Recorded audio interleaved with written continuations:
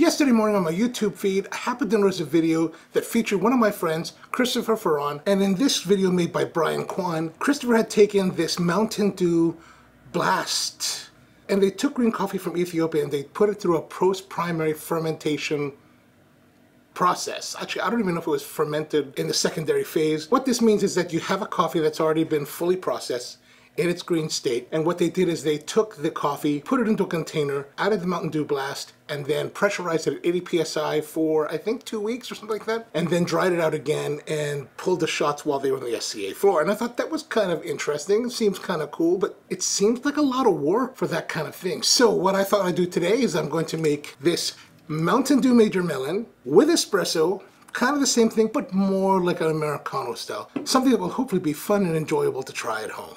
So let's go try it. All right, so I've got this Mountain Dew Major Melon here in our lab with our espresso machine, and we're gonna pull a basic shot over. Should be pretty simple. First thing we're gonna do is we're gonna prepare our shot.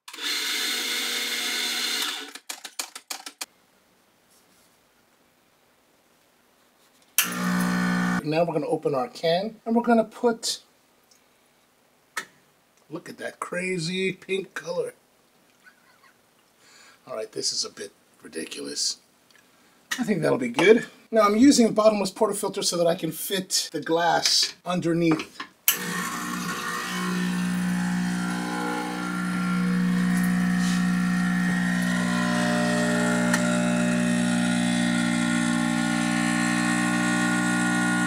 Uh-oh.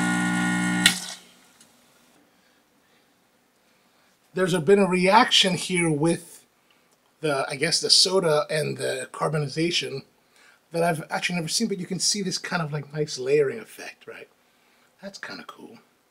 All right, let's go back and uh, take it to a taste. All right, now it's time for a taste. As you can see, we've got some really interesting layering going on here. The major melon, the espresso, and then this really kind of exacerbated or really excited crema that is very interesting. And as you can see here, it seems to have gotten thicker since we actually poured the shot. I think that's also a factor of this foam dissipating. But I guess let's have a taste.